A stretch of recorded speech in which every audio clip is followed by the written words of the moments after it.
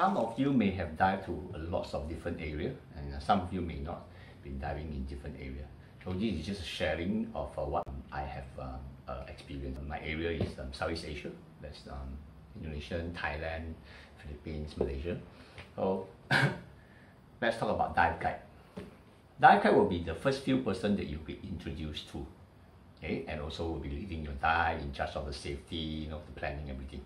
Okay, uh, to meet your expectation. So if you were introduced to a dive guide who is not a dive master rating, so how what's your perceptions with it? Okay. And some of the dive guides dive master rating, and uh, some of the dive guides is um, dive instructor. So will it be better? Okay. So that is um, my personal opinion. Okay. The first one will be the dive guides of the dive master rating um, certain area the dive guide have worked there for very long but they don't have the uh, education background. They don't really speak the language um, um, that the don't understand the language that the uh, dive um, master uh, education system academies provide. Okay? So um, or because it's not really required so and uh, they know that they can do a good job. Not all yeah? Uh, you know those good one and uh, they work as a dive guide and we look for them. We look for them one thing that's very important is that you must be able to take care of yourself. I'm not saying that they won't take care of you but they may take care of you in different way. And um, they are very focused in introducing you the local uh, specialty the fish the marine life okay? Because that is what they're good. Some of them have this uh, feeling that if you come and look for them, you should be able to take care of yourself and their work is to show you the place, tell you what is dangerous, what is not, and then focus in looking for fish or marine life. So if you are looking for this kind of dive guide, first of all, you need to know that you take care of your own safety.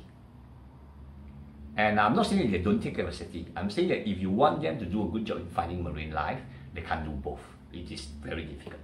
Okay? If you need somebody to really take care of safety, I recommend you to ask the dive center before you go to this dive center that is there a dive master rating dive guide. And that actually didn't guarantee anything because it all depends on the uh, attitude of the dive guide. Okay, but at least a dive master rating dive guide academically, he will understand you better. Okay, at least on this, not necessary, but at least.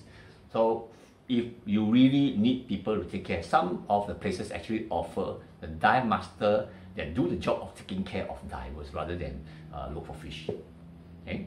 But uh, if you go with a whole group of people, uh, of course, you know, you have certain divers who specially come all the way here to see for some special uh, uh, marine life. And uh, it is not easy to find. So the dive master has to fully focus on looking for those things they can't do both things at the same time well. Okay? And what about a dive guide that is dive instructor rating? So for me personally, I'm an instructor for 20 over years, and uh, uh, there is one problem. I, after I become an instructor, I actually can't guide very well. Why? Because I really cannot do both things well. One thing. The second thing is my my uh, how do you call it? My focus is on whether you improve your skill or not. So my focus is on the diver It's always the diver, the diver, the diver. And I'm so used to it that I cannot not looking at my diver and make sure that they are there. So yes, on making sure of safety wise is actually a dive instructor is really good. But me personally, if I go for a dive, I don't I don't really want to dive with a dive instructor because uh, uh, uh, I'm a bit confident that I can take care of myself. Second thing is that I really like a dive guide, dive guide that focus on fish. But I know it's not it's not fair because in a group of a few of uh, let's say eight divers or six divers, you know, um, some of the places is four divers to a dive master, right? So um, uh, uh, different people have different requirement.